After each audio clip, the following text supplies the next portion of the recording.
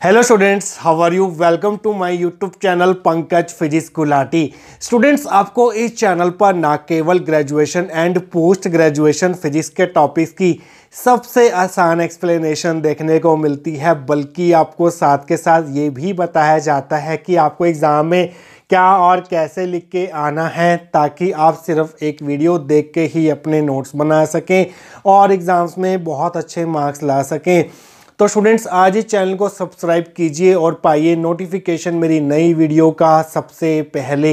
इसी कैटेगरी में आगे बढ़ते हुए आज हम बात करेंगे MSc physics semester one classical mechanics unit two के एक और इंपॉर्टेंट टॉपिक के बारे में, जिसका नाम है फंडामेंटल और बेसिक पॉइजन ब्रैकेट्स देखिए स्टूडेंट्स क्लासिकल मैकेनिक्स में हमारे पास चार ऐसी पॉइजन ब्रैकेट्स होती हैं जिनको हम फंडामेंटल या फिर बेसिक पॉइजन ब्रैकेट्स कहते हैं।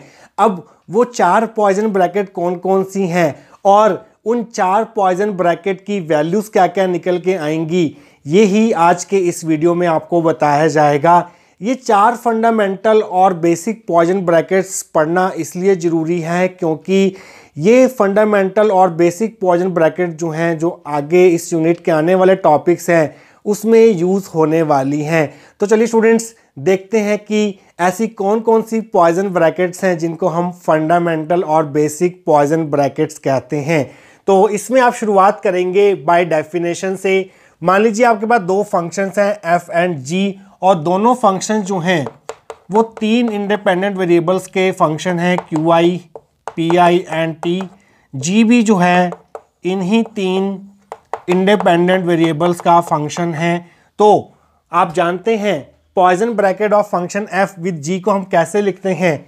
Summation I curly F by curly Q I curly G by curly P I minus curly F by curly P I curly G by curly Q I ये अब तक जितने भी videos हमने poison bracket के ऊपर बनाए हैं, उसमें आप जान चुके हैं कि किन्हीं दो फ़ंक्शन के पॉइजन ब्रैकेट को इस प्रकार से लिखा जाता है और ऑर्डर जो है वो बिल्कुल एज इट इज़ होना चाहिए।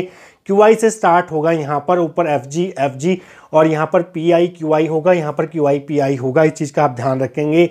ये फ़र्स्ट इक्वेशन होगी। अब यहाँ पर हम कुछ केसेस कंसिडर करेंगे। पहला केस है let G is equal to small Q L हम इस जी को क्यू एल से रिप्लेस करेंगे देन फ्रॉम वन तो इक्वेशन वन में जहाँ जहाँ जी लिखा हुआ है कैपिटल जी वहाँ वहाँ आप स्मॉल क्यू एल लिख देंगे तो आपको क्या मिलेगा? आपको मिलेगा पॉइजन ब्रैकेट ऑफ़ एफ़ इस जी की जगह क्यू एल लिख दिया। Is equal to summation I bracket start curly F bye curly Q I ऐसे रहेगा। इस जी की जगह क्यू एल लिख देंगे तो आपको मिलेगा कर ली Q L by curly P I minus curly F by curly P I और इस जी की जगह आपको लिख दिया कर ली Q L by curly Q I क्योंकि यहाँ पर आई इंडिसिस ऑलरेडी चल रहा था तो हमने यहाँ पर आई नहीं लिया है।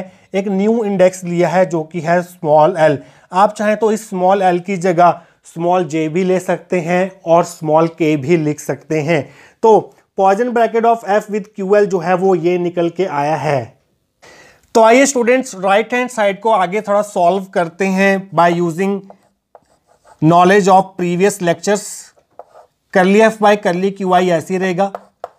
अब यहाँ पर देखिए curly Q L by curly P I लिखा है बट हम जानते हैं क्यू एंड पी जो है वो इंडिपेंडेंट वेरिएबल्स हैं। और अगर ऊपर क्यू लिखा है, नीचे पी लिखा है या ऊपर पी लिखा है, नीचे क्यू लिखा है तो मैंने आपको बताया था प्रीवियस वीडियोस में, उसका आंसर हमेशा ज़ीरो होता है, चाहे curly Q by curly P हो, चाहे curly P by curly Q हो।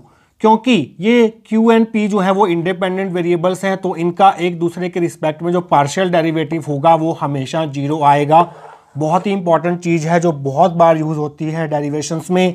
आगे देखिए, इस ये टर्म बन गई zero minus curly F by curly P I ऐसे ही अब यहाँ पर देखिए आगे curly Q L by curly Q I आ रहा है, यहाँ पर क्यू है, यहाँ पर क्यू है। तो इस केस में, जब हमारे पास सेम सेम वेरिएबल्स अपीयर होते हैं ऊपर और नीचे, और उनके इंडिसिस अलग अलग होते हैं, जैसे यहाँ पर स्मॉल एल और यहाँ पर आई है तो इस केस को हम रिप्रेजेंट करते हैं। क्रोनेकर डेल्टा सिंबल से, जिसको हम डिनोट करते हैं, डेल्टा अगर पहले ऊपर एल लिखा तो पहले एल आएगा, नीचे आई लिखा तो यहाँ पर आई आएगा। अगर हमारे पास क्यू की जगह स्मॉल पी होता ऊपर और नीचे भी क्यू की जगह स्मॉल पी होता तो उस केस में भी हम इसको क्रोनेकर डेल्टा सिंबल से ही रिप्रेजेंट करते, अगर हमारे पास curly P L by curly P I होता तो भी इसको हम डेल्टा एल आई से रिप्रेजेंट करते। तो स्टूडेंट्स इसको हम लिखेंगे Kronecker delta symbol, delta L I. अब देखिए स्टूडेंट्स आइए, आगे बढ़ते हैं। ये टर्म तो हो गई zero is equal to summation I इस माइनस साइन को मैं बाहर ले आता हूँ यहाँ पर। Curly F by curly P I delta L I.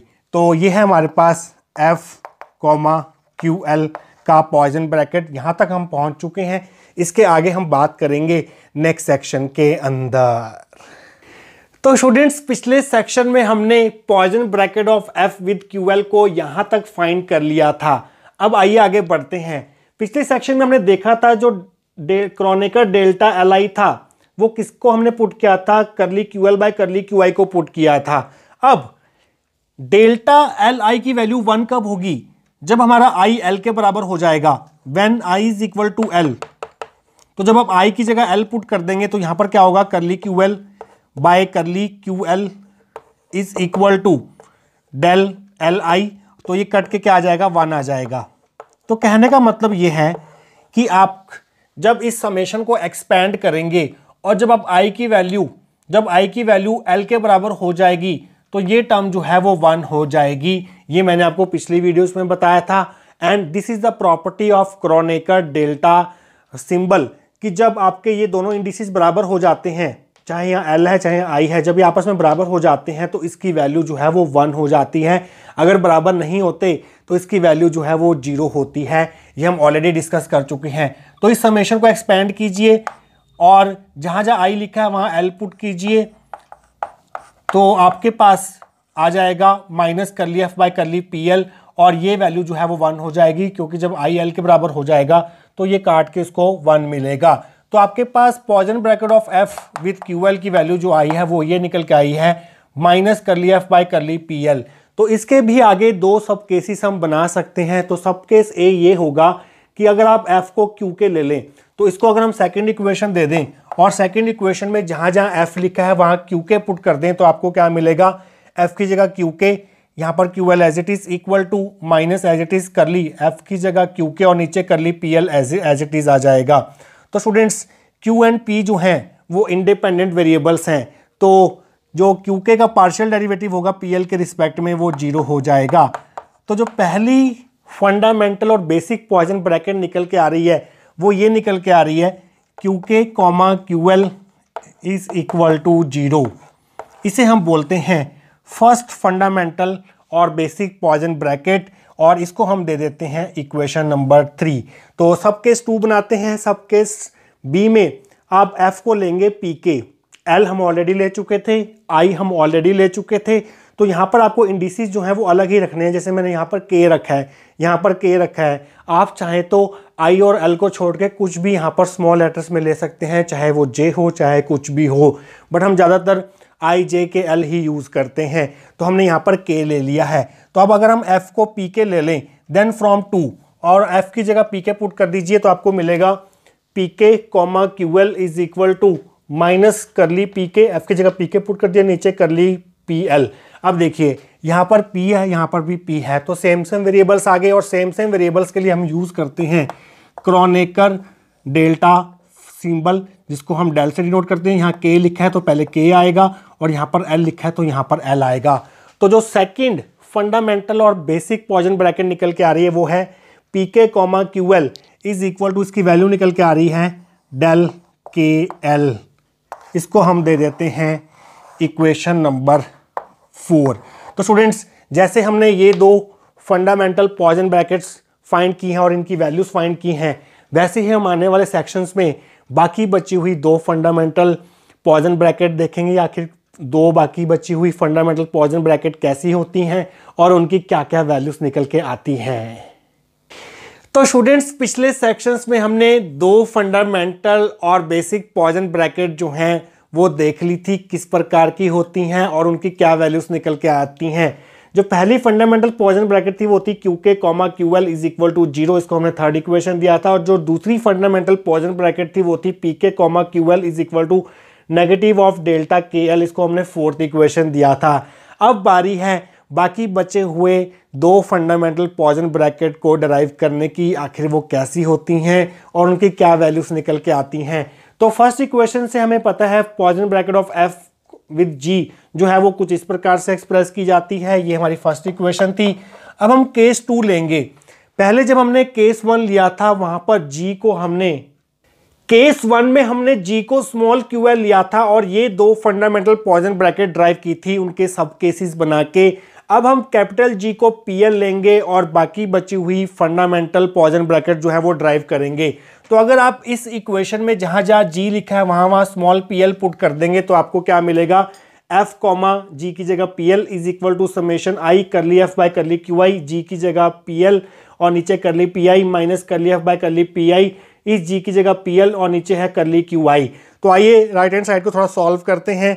F comma P L is equal to summation I curly F by curly Q I as it is अब पी के नीचे पी आ रहा है और जब भी सेम सेम वेरिएबल के नीचे सेम सेम वेरिएबल आता है। पी के नीचे पी हो, चाहे क्यू के नीचे क्यू हो तो उसको हम रिप्रेजेंट करते हैं क्रोनेकर डेल्टा सिंबल से।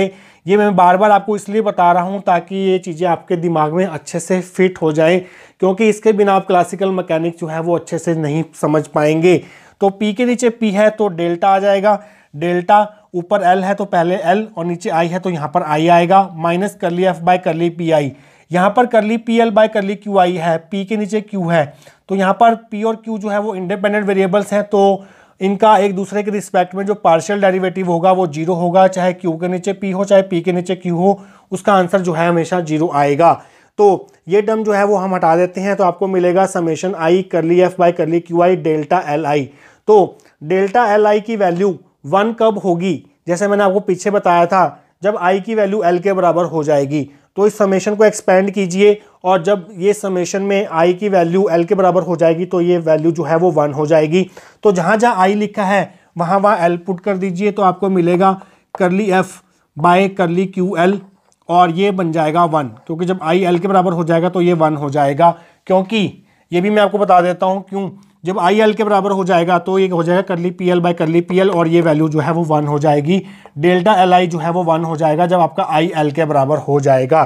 तो यहाँ पर समेशन नहीं लगेगा। इसको हम दे देते हैं फिफ्थ इक्वेशन और इसी फिफ्थ इक्वेशन से आगे हम दो सब केसेस बनाएँगे और बाकी बची हुई दो फंडामेंटल पॉइजन ब्रैकेट्स को ड्राइव करेंगे नेक्स्ट सेक्शन के अंदर। तो स्टूडेंट्स पिछले सेक्शन में हमने poisson bracket of F and P L को कर लिया by curly Q L तक ड्राइव कर लिया था इसको हम फिफ्थ इक्वेशन दे देते हैं। तो आगे इसके दो सब केसेस बनाएँगे। Sub case A let F equal to Q K जैसे हमने केस वन का पहला सब केस बनाया था तो उसमें भी हमने एफ़ को क्यू के लिया था तो यहाँ पर भी हम एफ़ को क्यू के लेंगे। तो आप लिखेंगे poisson bracket of Q K and P L F की जगह हमने क्यू के पुट कर दिया। That will be equal to F की जगह क्यू के पुट कर दो। कर ली Q K by curly Q L तो क्यू के नीचे क्यू आ रहा है सेम वेरिएबल के नीचे सेम वेरिएबल आ रहा है तो इसे हम रिप्रेजेंट करेंगे क्रोनेकर डेल्टा सिंबल से डेल्टा से। Q K comma P L will be equal to delta K L और इसको हम देंगे सिक्स इक्वेशन तो हमारी जो थर्ड फंडामेंटल और बेसिक पॉइजन ब्रैकेट होती है, वो कुछ इस प्रकार से होती है। अगर आप फोर्थ और सिक्स को कंपेयर करेंगे तो ध्यान से देखिए, अगर पी के कॉमा क्यू एल है तो माइनस डेल्टा के एल आ रहा है। और अगर क्यू के कॉमा पी एल है तो प्लस का डेल्टा के एल आ रहा है। ये बहुत ही इंपॉर्टेंट रिजल्ट्स हैं दोनों।